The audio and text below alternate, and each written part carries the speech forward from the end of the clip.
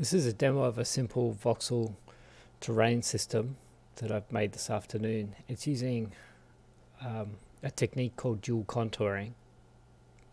Uh, and I wanted to give a demonstration uh, of it. there are a couple of things that I worked out while making this.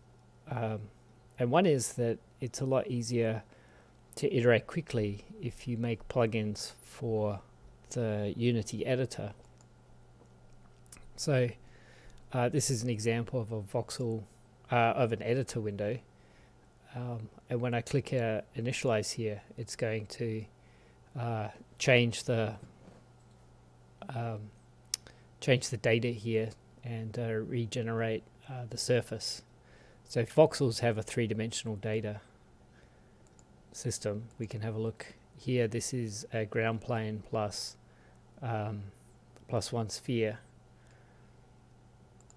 Uh, and then I have a system that uh, if I click, it will let me uh, either uh, insert voids or insert spheres. So if I turn off a road, I can insert a sphere.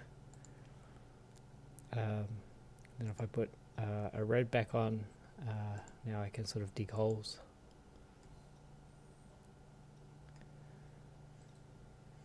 Um, maybe it's useful to show uh, some of the code because uh, some of this stuff wasn't that easy to work out from uh, from Unity tutorials.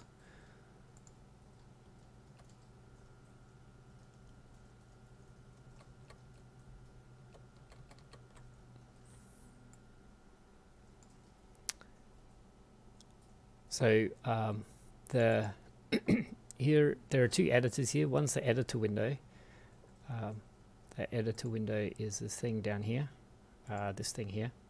Uh, it's got an initialize button and then uh, a size, which is the size of the grid that the system is using to generate terrain.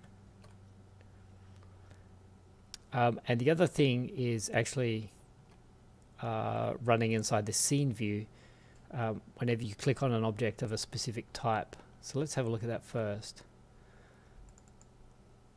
So uh, this is running in the scene view. Um, the way that you make this is you make a class called, uh, you give it some name, I've called this one voxel editor, make it inherit from editor, say that it is a custom editor of, uh, and then this is a game object type, so, uh, well, a component type. So I've got this other class called voxel data, um, which inherits from MonoBehaviour. So this is the type of thing that you attach to a game object.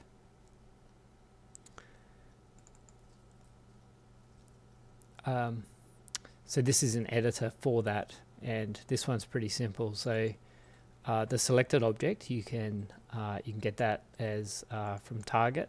This is casting it to voxel data, and then all this does is uh, look for a mouse down event uh, with the left mouse button, and then um, I use this as special function uh, GUI point to world ray uh, to find out the, uh, the hit point where it actually hit the object on the screen and then uh, on the voxel data object it calls this function uh, hit and uh, what hit will do is add a sphere or a sphere void um, to the list of um, entities that are being combined together to generate the surface. Um, let's go back here.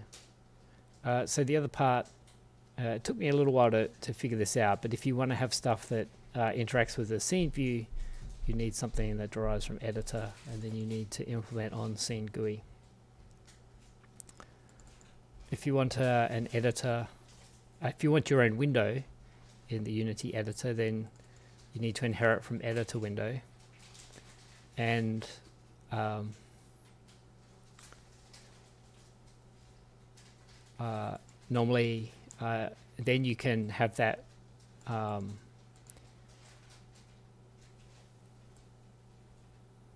you, uh, you you normally find somewhere in the menu hierarchy to make an item that will show your editor.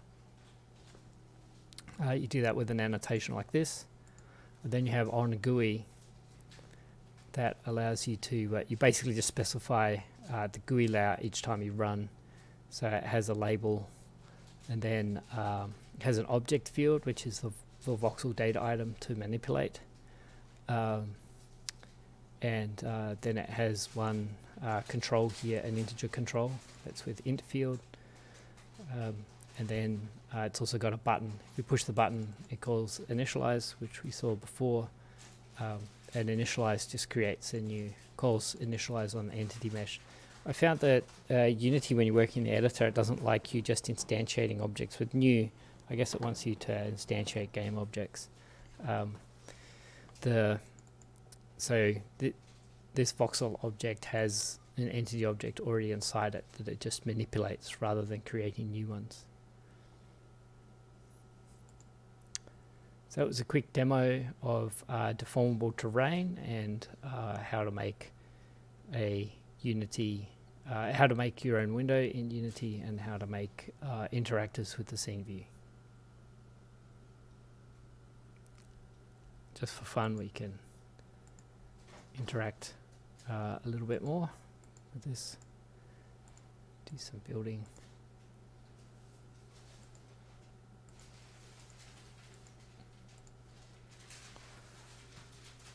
Bye for now.